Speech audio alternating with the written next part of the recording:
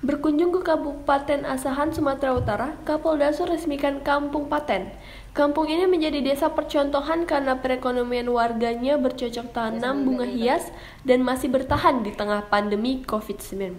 Sebagai bentuk desa percontohan bagi desa lainnya, kampung bunga tersebut kini menjadi kampung paten yang terletak di desa Bunut Seberang, Kecamatan Pulau Bandaring, Asahan, Sumatera Utara. Dengan mewabahnya virus COVID-19, usaha petani bunga hias ini tidak surut dan tetap berkembang. Bagi warga yang ingin membeli bunga di kampung ini, harga bunga sangat terjangkau terjangkau mulai dari Rp2.000 hingga jutaan rupiah. Kapolda Sumatera Utara sangat mendukung aktivitas warga yang tetap patuh terhadap penerapan protokol kesehatan sesuai Inpres nomor 6 tahun 2020.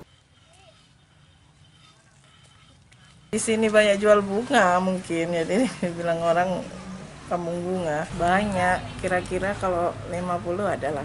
Dari mulai 2000 sampai yang jutaan pun ada. Sekitar 13 tahun lah.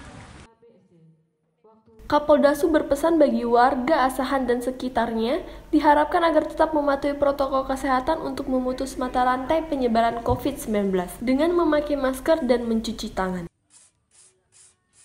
Melaksanakan pengecekan protokol kesehatan di Desa Tangguh, Kampung Paten, Gunung Seberang, Kabupaten Asahan, Pulau Gandring, Kecamatan Pulau Gandring.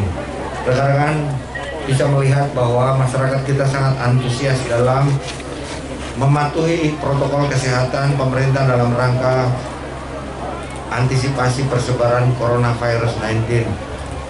Gunakan masker, jaga jarak, rajin mencuci tangan dan poskonya kita lihat tadi lengkap.